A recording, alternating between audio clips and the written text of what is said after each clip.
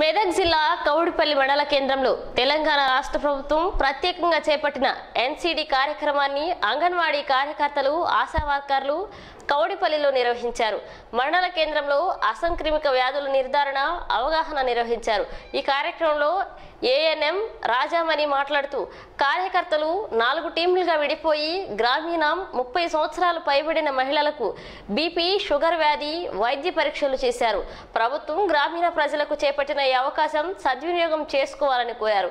ఈ కార్యక్రమంలో అంగన్వాడీ కార్యకర్తలు ఆశా వర్కర్లు గాయత్రి చంద్రకళ సుగుణ ప్రమీల శ్రీధర్ రెడ్లు పాల్గొన్నారు. ముప్పై సంవత్సరాల పైబడిన ప్రతి వారికి మేము ఇంటి వాళ్ళ ఇంటి దగ్గరికి వచ్చేసి బీపీ షుగరు తర్వాత ఇతర ఎలాంటి జబ్బులు ఉన్నా కానీ మేము ఒక ఫార్మేట్లో రాస్ నింపుకుంటూ వాళ్ళకి ఆన్లైన్ ద్వారా మేము చేస్తున్నాము. ఆన్లైన్లోని వాళ్ళకి ఎలాంటి జబ్బులు ఉన్నా కానీ షుగర్ టెస్ట్ బీపీ టెస్టులు అన్నీ ప్రతి ఇంటింటికి తిరిగి సర్వే చేయడం జరుగుతుంది. ఎవరికి ఈ సర్వేలో ఎవరైనా బీపీ కానీ షుగర్ కానీ అంటే వాళ్ళకి తదుపరి పరీక్షలకు మేము ఆరోగ్య కేంద్రం పంపించడం జరుగుతుంది.